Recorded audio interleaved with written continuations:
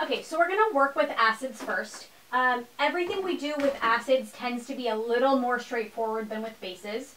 So you want to make sure you're good on this section before you move on to the section on bases.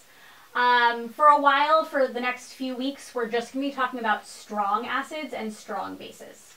The word strong, if I asked you what, what you thought it meant, guaranteed most of you would be wrong. Um, a strong acid doesn't mean it's like particularly harmful. Um, the word strong, and th this definition matters in terms of how we approach all the math. Um, the word strong, whether it's for an acid or a base, means that it is something that dissociates fully. So last week you fi you finished up KSP. KSP was always looking at things that barely dissociated.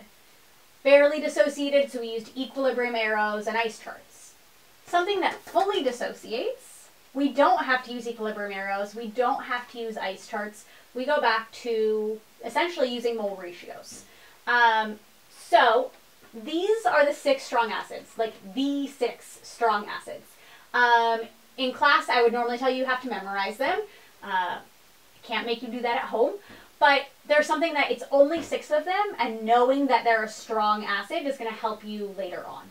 Um, hopefully with enough practice, you'll just know that anyways.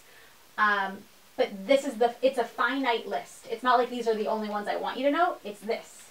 So HCl, that's an L, not an I.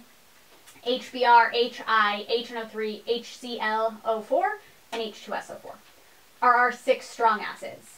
They're strong, so they fully dissociate. Um, meaning, let's say I had HCl and I dissociated it, which we're always going to be working with acids in solution, so they will always break apart into ions. They'll always dissociate. Splits into H plus and Cl minus. Again, it's a single arrow because it's a strong acid. We're not doing anything not strong for quite a while. Um, HBr would also dissociate the same way. HI would be the same.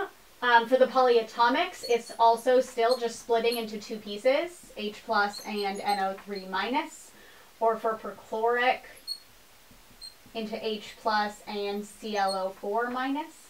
Sulfuric, um, we're not going to dissociate it, we're not going to do any math with it. It's kind of, it's funky. It's like sort of acts as a strong acid and then also sort of doesn't. Um, so as long as you recognize it's a strong acid, that's, that's all you need to know. Um, might as well do hydroiodic. So the reason I'm showing you these dissociations, one, to drive home the point that it's strong, so we use a single arrow. Two, if you notice, these are all already balanced. H2SO4 wouldn't be, but again, it's kind of like everything with H2SO4. H2SO4 is a lie, so ignore it. Um, these are all balanced, and all of our coefficients are 1. That makes our lives way easier until we get to strong bases then if you don't conceptually understand what I'm about to tell you, then you're going to be kind of stuck. So, because all the coefficients are 1, that means if I had a, constant, a molarity, a concentration of one of these acids, so let's say I had 0.3 molar nitric acid, and I wanted you to find the H plus concentration. Why might I want the H plus concentration? Um, well, if I want the pH, you know that for pH we would need to take the negative log of my H plus. Okay? The formula says take the negative log of the H plus. HNO3 is not the same thing as H plus, so I could not just take this number and plug it in right away. But what I can do is do a mole ratio with my molarity. Remember, brackets mean molarity. So I have the I have the molarity of the nitric acid. Uh, if I want the molarity of hydrogen, coefficient of what I want over coefficient of what I have. Want over given. Um, and you'll notice I end up with 0.3 molarity H plus. That's my H plus in brackets, so it can be plugged in. I could negative log the 0.3 and get 0.52 as my pH.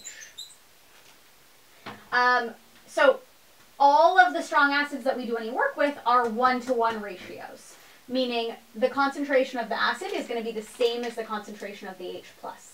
But conceptually, it's really, really important that you know we're not just taking this number and plugging it in. We're taking this number, multiplying it by 1 over 1, because again, coefficient of what we want over coefficient of what we have. And yes, it's coming out as the same answer. So for strong acids, if I give you a molarity of the strong acid, if you just automatically know that that's equal to the same molarity for the H+, plus, I'm okay with that. But I want you to do something to tell me like, oh, it's a one-to-one -one ratio. It would be 1 over 1. Um, so you don't find yourself in trouble later.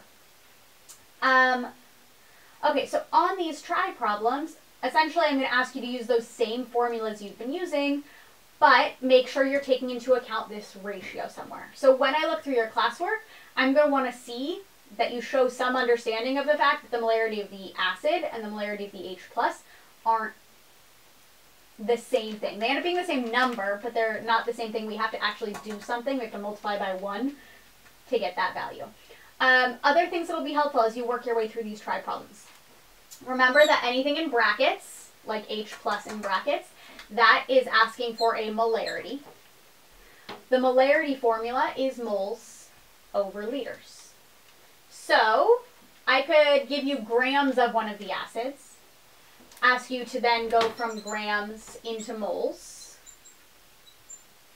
When you have moles of the acid and liters of the solution, you can find the molarity, and that would give you the concentration of the acid. So make sure you're paying attention to what do I have grams of? Okay, what does that get me moles of? Okay, what does that get me molarity of? Then do your one-to-one -one ratio. Um, try that, and let me know if you have trouble.